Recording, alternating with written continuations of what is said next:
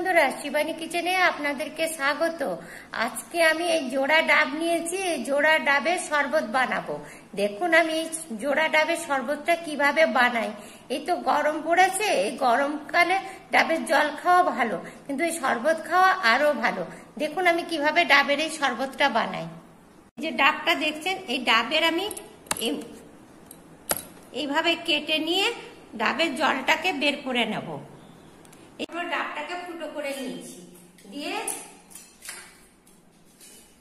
এবার ডাবের জলটা ডাবের জলটা আমি এবার এর মধ্যে ঢেলে দিচ্ছি।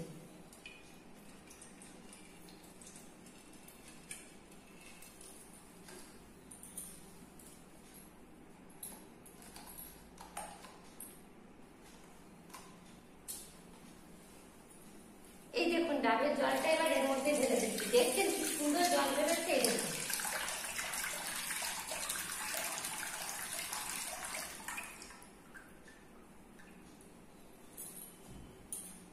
বা এর মধ্যে খুব সুন্দর শ্বাসটা হয়েছে। এবার এই দেখুন, আর একটা ডাব নিচ্ছি।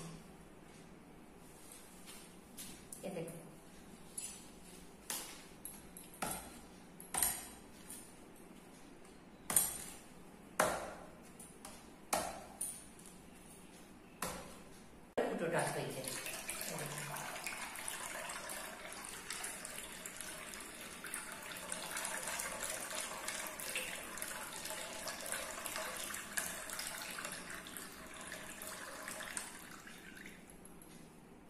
দেখেছেন দুটো ডাবে কত সুন্দর জল বেরিয়েছে।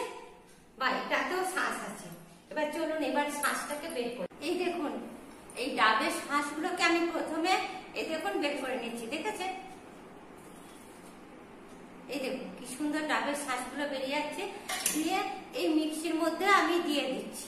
আপনারাও ঠিক ডাবের শ্বাসগুলো বের করে প্রথমে মিক্সির মধ্যে দিয়ে দেবেন এই দেখুন দেখেছেন বেরিয়ে গেল। এবার এর মধ্যে আমি এই দেখুন, কাজু আর কিশমিশ ভিজিয়ে রেখেছিলাম, দিয়ে দিলাম। দিয়ে এটাকে চলুন একবার ঘুরিয়ে নিই। মিক্সিটা বন্ধুরা, এই যে ডাবের শাঁসটা নিয়েছি আর কাজু কিশমিশ নিয়েছি, এবারে এই ডাবের জলটা এর মধ্যে ছেঁকে দিয়ে দিতে।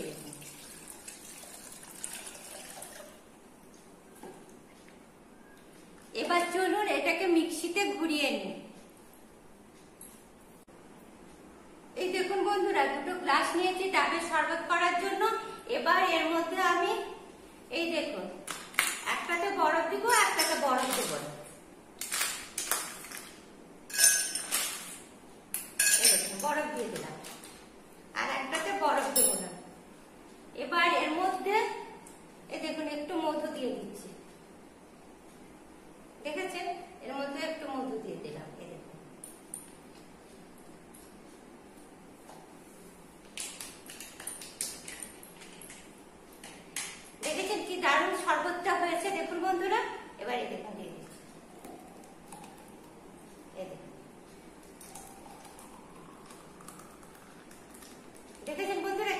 শরবতটা হয়েছে? এই দেখুন বন্ধুরা, কি দারুণ আমার ডাবের শরবত হয়েছে। এবার এর উপরে আমি একটুখানি বরফ দিয়ে দিলাম। আপনারাও ঠিক এইভাবে ডাবের শরবত বানাবেন, দেখবেন দারুণ খেতে হয়েছে এবং এই গরমকালে ডাবের শরবত খুবই উপকারী।